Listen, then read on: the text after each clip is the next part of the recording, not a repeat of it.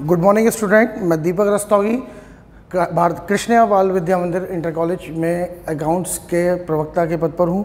मैं आज आप लोगों को ऑनलाइन क्लासेस के अंतर्गत बही खाता में साझेदारी पढ़ाने वाला हूँ। साझेदारी के अंतर्गत मैं आपको बताऊँगा, सबसे पहले साझेदारी का आशय और फिर धीरे धीरे स्टेप बाय स्टेप टॉपिक पर पहुँचूँगा। ठीक है? तो शुरुआत करते हैं। सबसे पहले साझेदारी से आशय। साझेदारी से आशय बताने के लिए मैंने केवल एक ही लाइन लिखी है। और इसके अंदर सब कुछ समझ आएगा। अभी देखिए कैसे। साझेदारी विकेंद्रित साधनों का केंद्रीयकरण है। विकेंद्रित मीन्स बिखरे हुए। यानी कि जो चीज़ें इधर उधर बिखर जाती हैं, उन्हें लाकर किसी एक जगह पर सेट कर देना। वो कहलाता है विकेंद्रीकरण। लिहाजा साझेदारी विकेंद्रित साधनों का केंद्रीकरण है। अर्थात भिन्न भिन्न योग्यताओं वाले व्यक्ति जिनके अंदर अलग अलग तरह की क्वालिटी होती है बट वो अपनी किसी न किसी कमज़ोरी की वजह से व्यापार नहीं कर पा रहे हैं। ऐसे व्यक्तियों को जोड़कर जब कारोबार किया जाता है तो वो साझेदारी कहलाती है। जैसे मैं बोल सकता हूँ, किसी व्यक्ति के पास कौशल होता है, किंतु पैसा नहीं होता। किसी के पास धन होता है, किंतु उसके पास संपन्नता नहीं होती, उसके मार्केट में वैल्यूशन नहीं होता। ऐसे में, ऐसे अलग अलग कुछ व्यक्ति इस तरीके के भी होते हैं अलग अलग में, जिनके पास एक्सपीरियंस की कमी होती है। यानी कि तजुर्बा नहीं होता।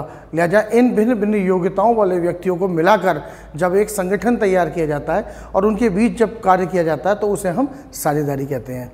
ये तो आ गई एक वर्बल टॉकिंग की बात, जो मैंने आपको समझाने के लिए बताई। अब आते हैं किताब की लैंग्वेज से। क्या साझेदारी दो या दो से अधिक व्यक्तियों का एक ऐसा संगठन है, जो भिन्न भिन्न योग्यताओं के होते हैं और मिलकर लाभ कमाने के लिए आपस में शामिल होते हैं? वो साझेदारी कहलाती है। तो मैं समझता हूँ ये बात आपकी सबकी समझ में आ गई। अब बात आती है साझेदारी व्यापार। जब वो लोग मिलके कोई काम कर रहे हैं तो उसे हम उनका व्यापार कहते हैं। अब व्यापार करते करते कभी कभी परेशानी आती है, बोले भाई वर्किंग हैंड की कमी है। बोले साहब, काम करने वाला दूसरा आदमी साथ में नहीं है। कभी कभी समस्या आती है कि पैसे की कमी पड़ रही है।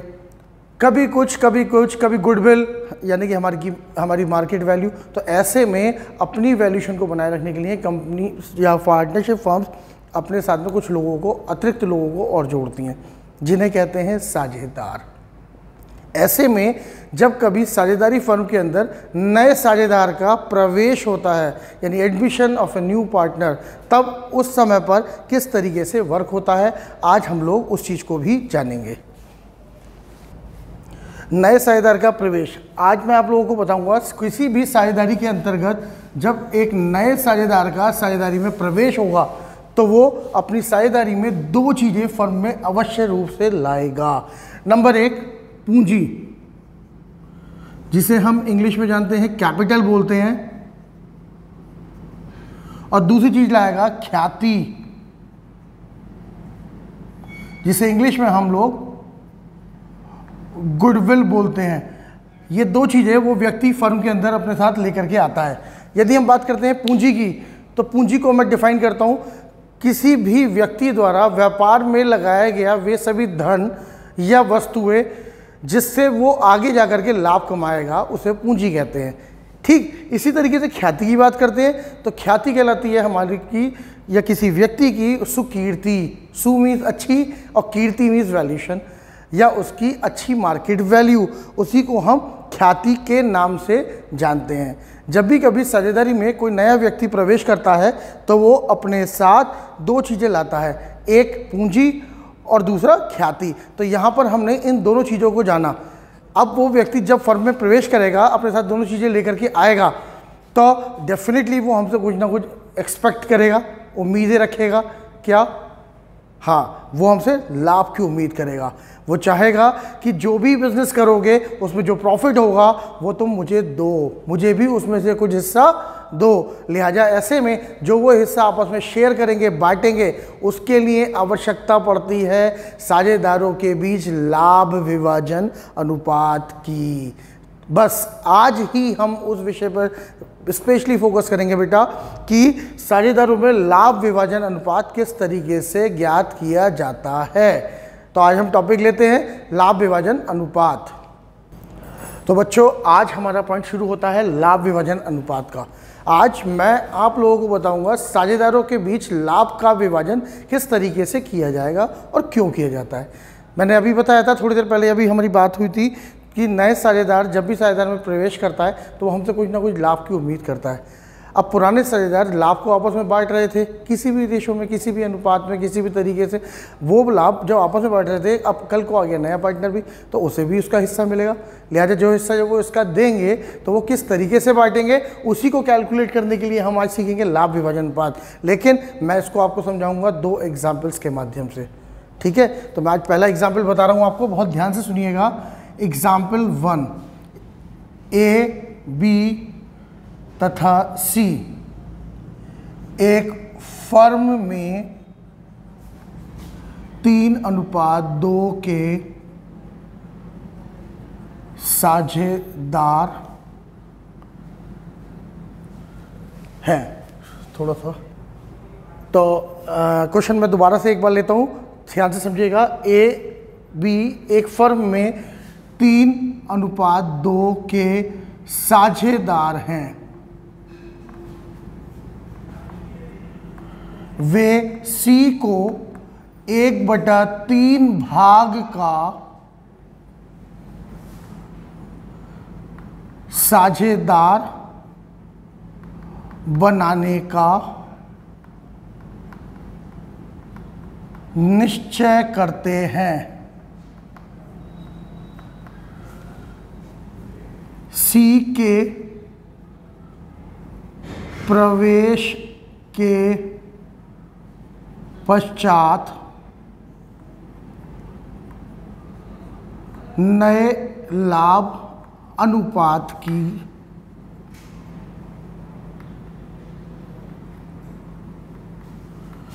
गणना कीजिए।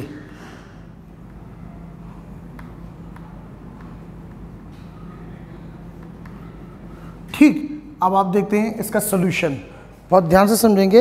मैं एक बार ध्यान से रिपीट करता हूँ क्वेश्चन ए और बी एक फर्म में तीन और दो के अनुपात में साझेदार हैं। वे सी को एक बटे तीन भाग का साझेदार बनाने का निश्चय करते हैं। सी के प्रवेश के पश्चात नए लाभ विभाजन अनुपात की गणना कीजिए।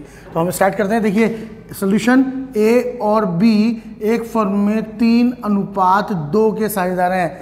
हमने सिक्स सेवन्थ एट्थ में मैथ पढ़ी है सबने खूब जम के और उसके अंदर हम लोगों ने सीखा है, अनुपात कैसे निकालते हैं? तो अनुपातों को करते समय एक चीज़ मैं छोटी सी बताऊँगा। तीन प्लस दो बराबर पाँच, यानी अनुपातीय योग कितना आया? पाँच। इस अनुपातीय योग को लीजिए, इनके बटों में लगा दीजिए, यानी तीन बटे पाँच और दो बटे पाँच। तो ये इनकी फ्रैक्शन बन गई, यानी बटों की संख्या आ गई। तो ए और बी, तीन दो का मतलब बोलेंगे, तीन बटे पाँच और दो बटे पाँच के साझेदार हैं। उन्होंने सी को एक बटे तीन भाग का साझेदार बनाया। सी ने जैसी पार्टनर बना तो सी के पार्टनर बनते ही इनके नए अनुपात को वो पूछ रहा है। तो याद रखिए एक मैथमेटिक्स का पॉइंट मैं बताता हूँ जब कभी संख्याएँ प्रतिशत में दी होती हैं तो पूर्णांक सौ माना जाता है। जब कभी संख्याएँ प्रतिशत में दी हों तो पूर्णांक सौ माना जाता है। लेकिन जब कभी संख्याएँ फ्रैक्शन में हो यानी बटों में हो तो ऐसे में पूर्णांक को एक रुपया माना जाता है। यानी कि यहाँ कर लेंगे आ, माना चलिए हिंदी में लिख देता हूँ। फर्म का कुल लाभ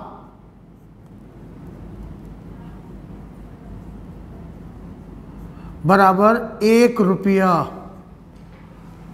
ठीक है? मानव फर्म का कुल लाभ एक रुपया है। तो उसने कहा, यदि हम, वो कहें रिमेन रेशो।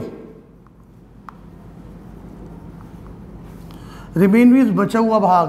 तो हम कहेंगे, माना हमने एक रुपये में से सी का हिस्सा माइनस कर दिया वन माइनस सी का पार्ट तो हमारा रिमेन रेशो यानी बचा हुआ हिस्सा निकल के आ जाएगा। कैसे?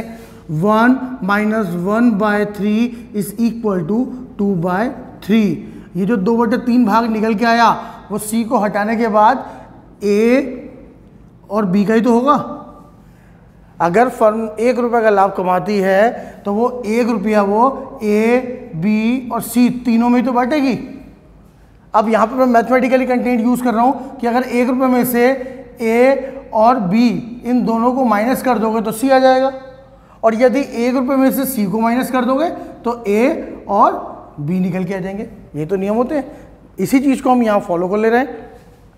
तो one minus one by three is equal to two by three तो दो बटे तीन हिस्सा आ गया।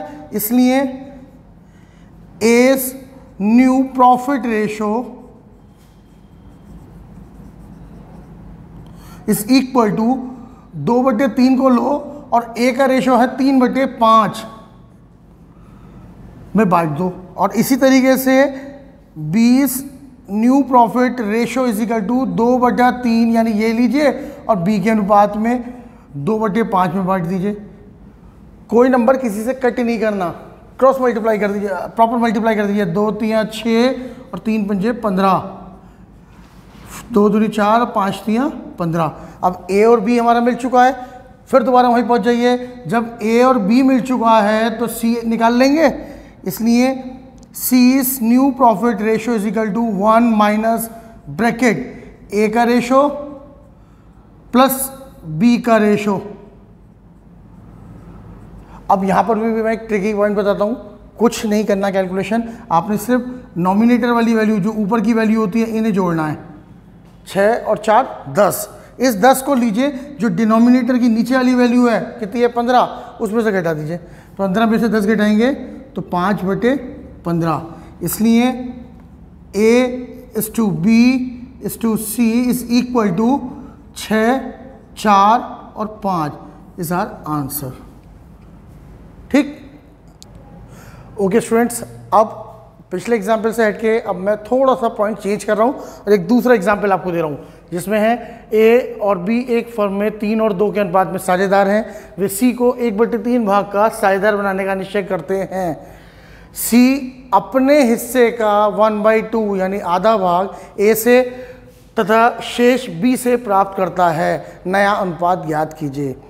मैं बता दूँ, पिछले क्वेश्चन में और इस क्वेश्चन के अंदर, इस लाइन ने एक बहुत बड़ा ट्विस्ट ला दिया है चेंज ला दिया है। वो लाइन क्या कह रही है, उसे हम ध्यान से समझते हैं। उसके लिए मैं एक बहुत छोटा सा एग्ज़ाम्पल देता हूँ। सपोज़ ये आपके पास एक बेंच है। ठीक है, बहुत ध्यान से समझिएगा। इस बेंच पर एक जगह ए बैठा हुआ है और एक जगह बी बैठा हुआ है। अब बैठ के फड़ पे सामान बेच रहे हैं। आपने देखा होगा फड़ पे इतनी जगह नहीं होती कि आदमी बहुत बहुत सारे जने लोग बैठ पाएँ। तो ऐसे में उन्होंने क्या करा? फड़ पर सामान बेचने का अपना कॉन्सेप्ट लगाया। इतनी देर में उन्हें सी आता हुआ दिखा। उन्होंने सोचा कि सी जिस चीज़ का कारोबार कर रहा है, वो रिलेटेड टू अस यानी हमसे संबंधित है। अगर सी की चीज़ बिकेगी तो ऑटोमेटिकली हमारी चीज़ भी बिकनी शुरू हो जाएगी। तो उन्होंने क्या करा? फटाफट सी को बुलाया और अपने बराबर में एक प्लेस दिया। बोले, चल तू यहाँ आके बैठ जा। अभी तो हमने वो टेक लिया था, वो वाला कंसेप्ट लिया था। उसमें किसी को कोई परेशानी नहीं हुई, ना ए को, ना बी को। सी आया और उसे जगह दी, उसे बैठा दिया। बट आज हम लोग जिस पॉइंट को, इस पॉइंट को डिस्कस कर रहे हैं, ये थोड़ा सा अलग है। इसमें क्या डिफरेंस है, वो मैं आपको बताता हूँ। यहाँ पर हमारे पास साइड में प्लेस नहीं है। ये मैं एग्ज़ाम्पल इस तरीके से दे रहा हूँ कि टॉपिक का स्टेप आपको क्लियर हो जाए। ठीक है? इसे बी प्रैक्टिकल मत समझ के चलिएगा। कभी बिल्कुल ये सोचें। तो इसलिए मैं आपको बता दूँ ए और बी एक प्रॉपर प्लेस पे बैठे हुए हैं। उन्हें सी को बैठाना है। और उसको जगह देनी है। लेकिन मजबूरी ये है बी के बराबर में भी और ए के बराबर में भी कहीं जगह नहीं है। अब वो क्या करेंगे? और उन्हें पता है कि अगर सी आएगा तो कारोबार दोगुना हो जाएगा। क्यों? सी जिस प्रोडक्ट में डील करता है, वो प्रोडक्ट हमारे दोनों के प्रोडक्ट को मिला करके चलता है। है ना? तो बैठाना भी ज़रूरी है, क्योंकि हमें अपने कारोबार को बढ़ाना है। तो इसलिए उन्होंने क्या करा? आपस में शेल्टर एडजस्टमेंट किया। क्या? कुछ जगह ए ने छोड़ दी और कुछ जगह बी ने छोड़ दी। तो जितनी जितनी जगह छोड़ी, उस जगह पे आके सी भाई सब बैठ गए। मिल गई जगह? तो ऐसे में जितनी जगह ए ने छोड़ी, वो ए के द्वारा किया गया सेक्रीफाइस है। सेक्रीफाइस को हिंदी में बोलते हैं त्याग। ए ने अपना हिस्सा जितना छोड़ दिया, उसे ए का त्याग कहेंगे, और जितना बी ने छोड़ दिया, उसे उसका सेक्रीफाइस या त्याग कहा जाएगा।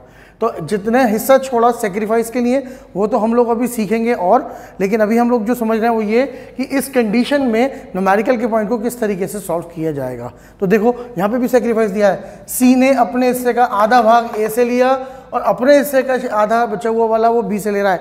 तो ए और बी अपने हिस्से में से कुछ तो छोड़ रहे हैं ना, वही सेक्रीफाइस है। कैसे करेंगे? आइए देखते हैं। सोल्यूशन ए और बी एक फर्म में तीन और दो के पार्टनर हैं। रेशनलिटी आपको मैं सिखा चुका हूँ। तीन बटे पाँच और दो बटे पाँच अनुपातीय योग से। उन्होंने सी को इनरोल करा वन बाय थ्री के लिए। बिल्कुल ठीक।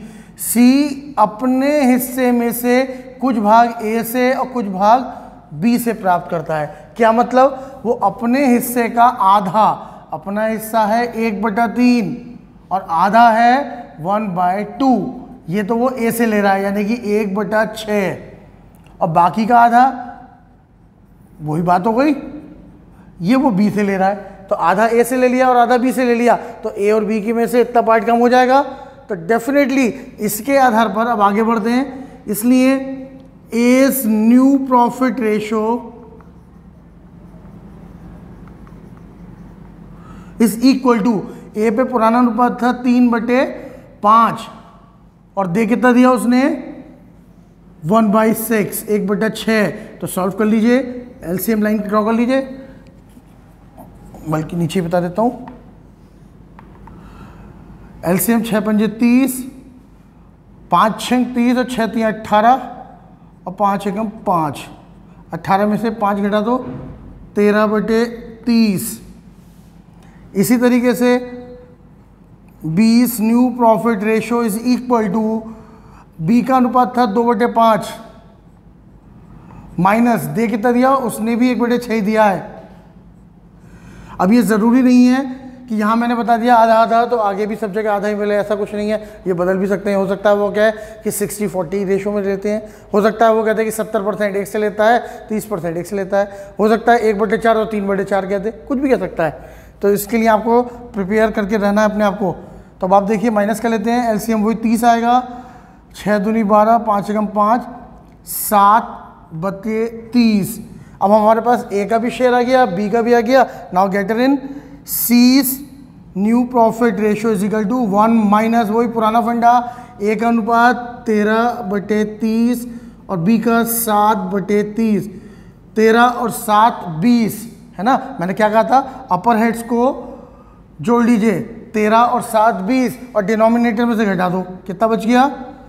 दस बटे तीस। इसलिए A B C is equal to तेरह, सात, दस।